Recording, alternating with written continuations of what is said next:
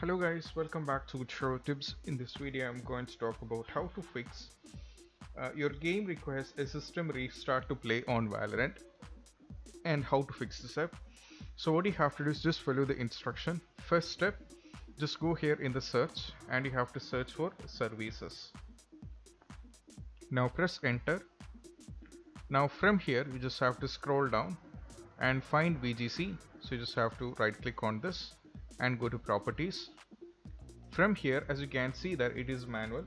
So you have to change this to automatic. You have to change this to automatic. Go for apply and go for ok this is the first step. Once after doing this you just have to minimize this and go here in the taskbar right click on this and go to task manager. From here just click on startup and scroll down a little bit and there is called Vanguard Tray notifications. Make sure this is enabled.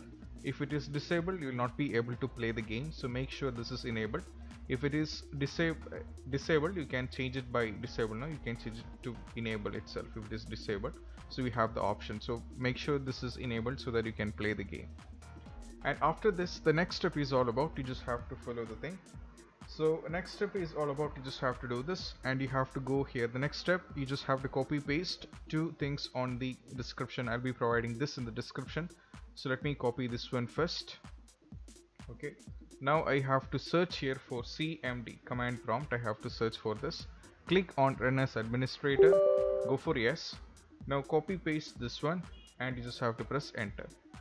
Okay you just have to copy paste this one and this has to be done and sorry you just have to copy the complete one.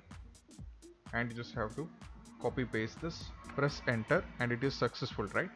Copy the next command. I'll be giving this in the description. Copy this one.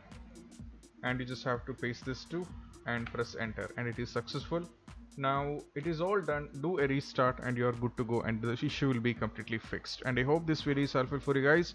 And if you find this video helpful don't forget to subscribe and click on the bell icon for more notifications. See you soon in the next video peace out